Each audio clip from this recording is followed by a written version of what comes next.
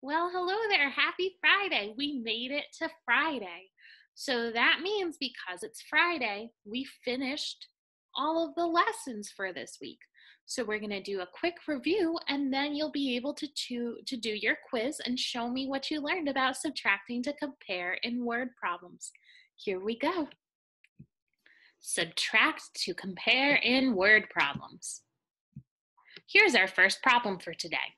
So it looks like we need to do 10 take away what equals what?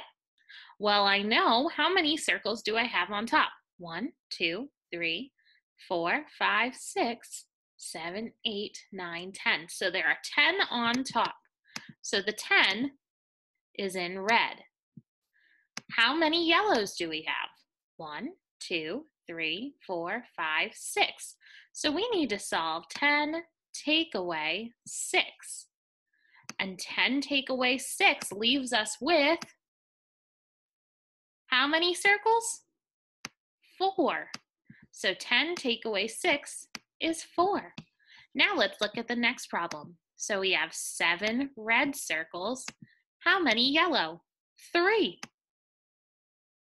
And when we solve 10 take away 3, we have this many left over because these are the ones that don't match up. And we have four. So seven take away three is also four.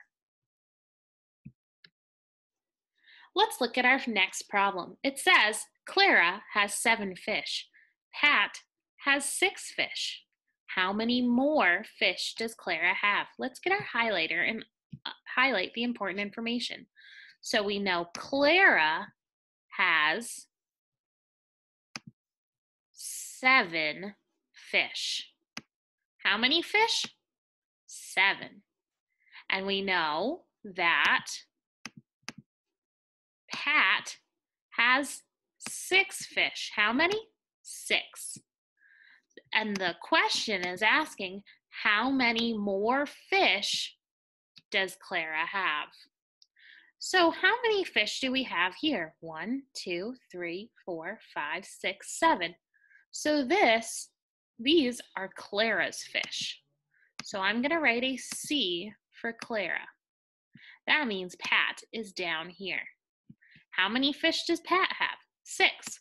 One, two, three, four, five, six. That means we need to solve 7 take away 6, which is right here. Now, if we match them up, let's use a different color to match them up. How many will we have left over? That will be our answer. We have one left over, so Clara has one more fish than Pat. There are two circles and nine squares. How many fewer circles? Well, let's get our highlighter and highlight the important information. It says there are two circles and nine squares. And the question is how many fewer circles?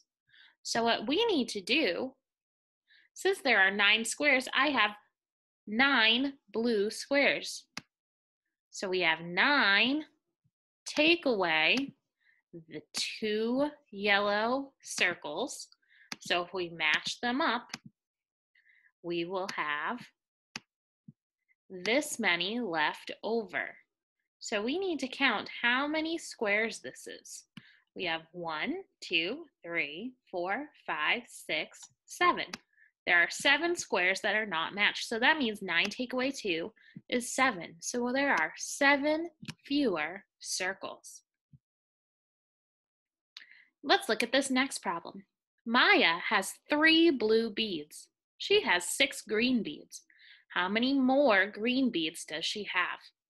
Let's take our highlighter and highlight the important information.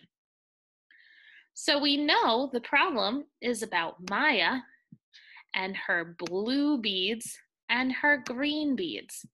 How many blue beads does she have? Three and she has six green beads. And the question is asking how many more green beads does she have? And we're going to circle our answer out of these options. So let's solve this first and make our equation. So we want to find out how many more. So in order to subtract, we're going to have to take away the six green beads. So six take away the three blue beads. Now let's match them. One, two, three. And uh, how many do I have left over? Three green beads, which means our answer is three. So that means she has three more green beads. Here's our last problem for today, and then you'll be able to practice and do your quiz. It says, draw a model to help you solve this problem. We already had a model drawn. Nine forks and three spoons. How many more forks? Well, let's highlight the important information. It says there are, it's about forks, and there are nine of them. Look over here. We have our nine forks in yellow. There are also spoons. How many? Three. And the question is asking, how many more forks? So in order to solve this problem, let's plug in our numbers to the equation. So we need to solve 9, take away 3 spoon. So we have 9 forks, and we're taking away 3. So let's match them up. One, two, three. And how many do I have left over? One, two, three, four, five, six. So there are six left over, which means nine take away three is six. So there are six more forks. If we wanted to check our answer, you could add three and six together. If we added these two numbers, we would get nine as our answer. So if I put six in my head and count on by three, I will get nine. So let's try it. Put six in your calculator. So six, seven, eight, nine, and I got nine, which means this answer is correct. So there are six more forks. And that is the end of our slideshow for today. So now it's your turn to show me what you've learned with subtracting to compare in word problems. So today you have your quiz to take. I want you to try your best. And if you have any questions, you can always email me for help. But because it's a quiz, I need you to try your best before asking for help. I know you'll rock it. You always do. So as long as you try your best, you're all set. And if we still have a little trouble, we can always go back and relearn this. We have the time.